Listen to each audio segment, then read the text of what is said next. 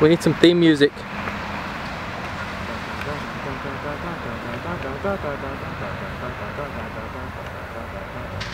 Mortal Kombat!